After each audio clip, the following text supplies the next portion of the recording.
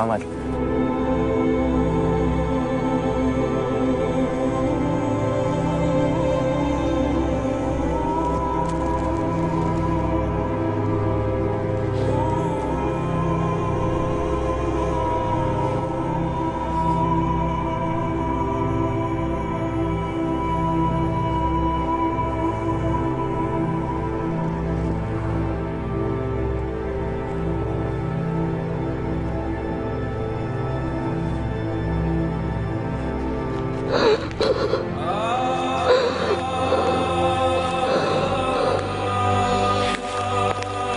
كتبت لك حياة جديدة. كلها نعمة من ربنا خدمات دقيقة. تخيل. كيف الحياة قصيرة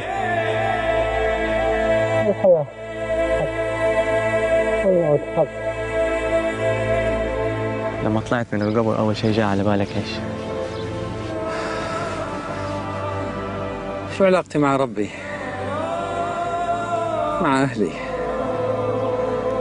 مع ناسي؟ مع أولادي؟ وأهم شيء مع شو عملت؟ ماذا سوف أغير؟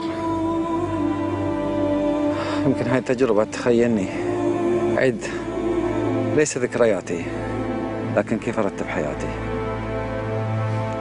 سبحان الله. يمكن دقائق بسيطة لكن كيف أثرت وسوف تؤثر في حياتي؟ نموذج بسيط. إحنا كثير نخاف من الموت لكن الموت هو جزء جزء بسيط من بداية رحلة الآخرة.